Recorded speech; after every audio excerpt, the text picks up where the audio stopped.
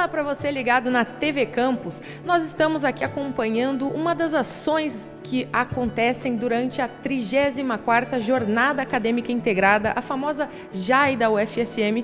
Viemos conversar com o professor Carlos Reis, diretor do Museu do Holocausto lá em Curitiba, que veio, dentre outros motivos, proferir uma palestra aqui na JAI, então intitulada Universalismo de Shoah, por que transmitir o Holocausto no século XXI?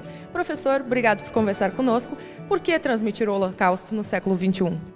O Holocausto é um evento extremo relacionado a um genocídio que aconteceu no século XX, e a partir desse evento é possível retirarmos o seu legado, as suas lições e transformar esse evento trágico numa ferramenta educativa poderosíssima para educar os jovens nos dias de hoje.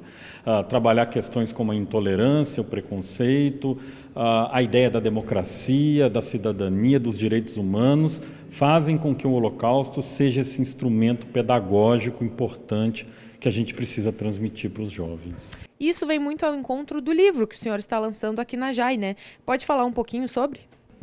O livro nasceu a, a partir da necessidade de se teorizar o projeto do Museu do Holocausto de Curitiba, que é um projeto pioneiro no Brasil, uh, inaugurado há oito anos. A necessidade de se entender como a memória do Holocausto se constrói e vem sendo construída no mundo faz com que exista uma clareza maior dentro do projeto educativo. Dentro desse livro, foi necessário estabelecer essas premissas, entender do ponto de vista histórico e teórico ah, como se constrói essa memória para que a gente tenha essa consciência clara de como as futuras gerações vão lidar com o tema do Holocausto.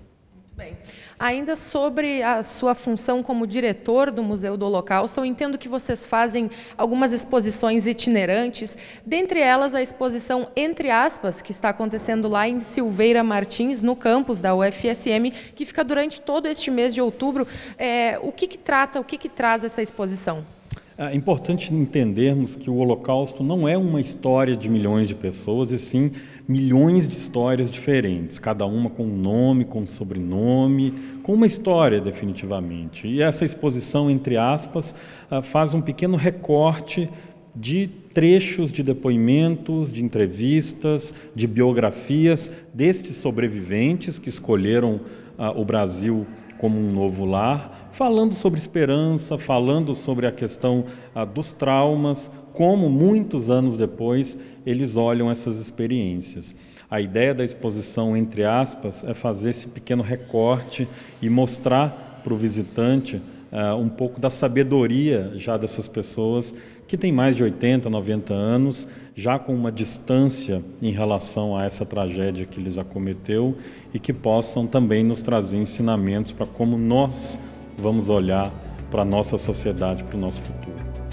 Muito obrigado por conversar conosco aqui na TV Campus e fica como dica um evento interessante, a exposição entre aspas que acontece lá em Silveira Martins, no campus da nossa universidade. Aqui é a Julia Dotto, diretamente da 34ª JAI, de volta para a TV Campus.